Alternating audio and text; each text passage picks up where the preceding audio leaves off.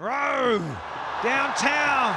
Here's our first maximum, courtesy of Big Colin. Six. HBL Golutlo.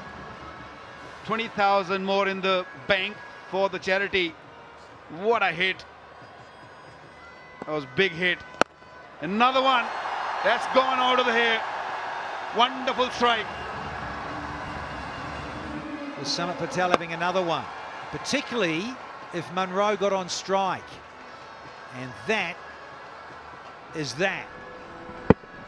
Sweet.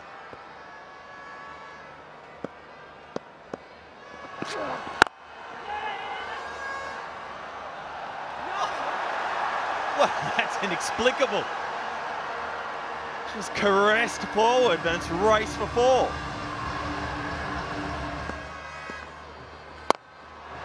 Colin Munro. You go loot low. Another 20,000 rupees to charity. This is just a little drop kick over the fence. Doesn't try to hit it too hard. That's been the feature of this opening partnership. They haven't really tried to force the ball. Oh dear, no. Well, the 50's up. We've just been singing the praises of Dilbo. He's led through. Absolute howler in the deep.